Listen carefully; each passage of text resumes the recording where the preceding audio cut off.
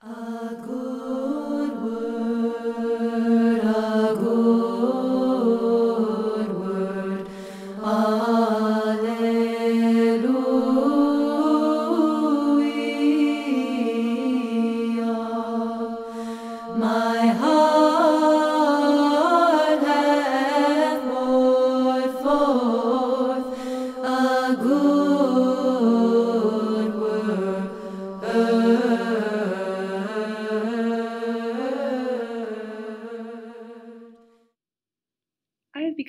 convinced that obedience is salvific.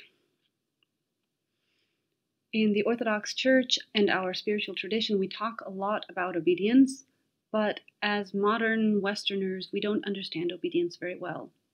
Our society teaches us that everyone should be stubbornly independent, uh, completely self sufficient, and self determining, and no one can tell you what you should do or what you should be, even to the extent that we think we can determine our own gender regardless of what God made our body to be. So, is obedience a monastic virtue? Does it apply to everybody? And if so, how? We know for sure that we want to avoid the two extremes that is, the one of stubborn independence and the other of blind obedience. So, what is obedience?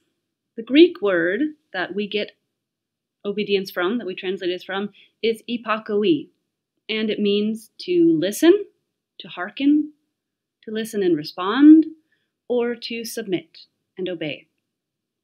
In Russian, the word is poslushania, and that's also similarly based on the root word to listen. So we tend to think of obedience as like an institutional rule. A prisoner must be obedient to the guards. There's this is a, a direct command and response. But the words we're talking about here, listening and responding, conversing, submitting, these are relational words. So, what if we, as an experiment, what if we just tried to replace obedience and we said, Wives, hearken to your husbands. Children, hearken to your parents. People, hearken to your clergy. I think that sounds better. Uh, I think it's more understandable, besides the fact that I like the word hearken. um, so to listen to someone implies honoring them respecting them for what they have to say, what they think, loving them, a curiosity to hear something outside of yourself, to hear something that conveys the inside state of the other person. And this kind of listening that we're talking about is not a passive state, it is active. It means paying attention. It means contemplating what people say, how does it relate to yourself, eventually making a decision and, and responding. This is an active virtue.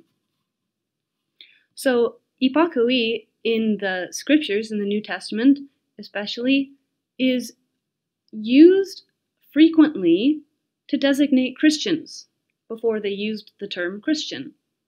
So, those who are obedient to the word, those who are obedient to the Lord, this is even a, a term that they use for the conversion of the Gentiles, bringing them into obedience. So, for the apostles and the early Christians, obedience is synonymous with faith. I think that answers our question as to whether or not obedience is just for monastics. So, this is a, another level of obedience. We talk about uh, being obedient to our spouses, our leaders, our families. Uh, but of course, there's this whole other level of being obedient to God, being obedient to the gospel. We are the disciples of Christ. So that means that we must listen to him, hearken to him, and respond. But there's still more. The Lord saved us through obedience. St. Paul says in Romans that by one man's obedience, many will be made righteous. And Christ is the one who humbled himself and became obedient unto death, even the death on a cross. This is not an institutional obedience that we're talking about. God the Father did not command the Son, You must die on the cross. No, the Son of God, as one of the Trinity, took part in the pre eternal counsel of God, hearkened to it, and responded by living out the path of our salvation. And this is, are you ready for a, a theological word? This is the perichoresis of the Trinity. Perichoresis, in its etymology, it means like a dance around the field. So it's it's this continual cycle in the Trinity's life of always deferring to the other. That God the Father gives preference to the Son and the Spirit, and the Son gives preference to the Father and the Spirit, and the Spirit gives preference to the Father and the Son. And as each one gives preference to the other, it comes back to them in return. So this is this is the blessed state that God lives in of mutual obedience, and it's this blessedness that God wanted us to live in. This is why he created us so that we could share in his blessed loving obedience. But rela- relationship is always a two way street. So Christ, in his obedience, opened the path for our salvation. He opened the means of our redemption. But listen to what St. Paul says. Although he was a son, he learned obedience through what he suffered. And being made perfect, he became the source of eternal salvation to all who obey him. He became salvation by his obedience to those who are obedient. Through salvation, through excuse me, through obedience, he worked salvation for those who obey him. So, obedience is a condition of our salvation. It's not enough for us to just let Christ do it for us. Okay, he was obedient to the Father, so that's enough obedience and we'll just let him do it. No, we have to imitate him. We have to hearken unto him and respond by being like him. But here's the thing the Apostle John said that whoever says that he loves God but hates his brother is a liar. And it's equally true that if we say we are obedient to God, but there is no one in our practical life that we are obedient to, then we are probably also liars, deceiving ourselves. If we think we can be one thing inside, say inside, in my soul I'm obedient to God, but in my body I'm obedient to no man, then we will be a double minded man, unstable in all his ways.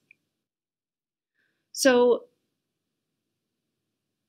we must have at least one person in our life, or more, whom we listen to, whom we are obedient to, who can be a guide in our life, who has a say in what we do. This is why the tradition of spiritual fathers is so important in the life of the church because we should not make ourselves the ultimate guide. If we are the sole guide for our own life, then we are standing in the place of God, and this is self worship, and it makes us very easy prey for the demons. It's trouble. So we need to not make ourselves God, but make ourselves the disciples, make ourselves the students the disciples of Christ, and through him, of all those who, who teach the ways of Christ. And my spiritual father taught me that in doing this, we trust God in the other person. So, obedience to a person is not a denial of obedience to Christ, it is not an unfaithfulness, it is a recognition that Christ is with us, in front of us, present in the other person, especially that person who believes in Christ, who receives the sacraments, and is obedient to him and to the gospel. So let us take up the cross of obedience and pray for me that I might also. Let us listen with curiosity, respond with our whole heart, and obey out of love for Christ. This is a blessed path. It's a path of openness, a path, path of relationship, and of holy humility. It is a path that will lead us to the blessed state that the Holy Trinity lives in, for which we were all created. Oh,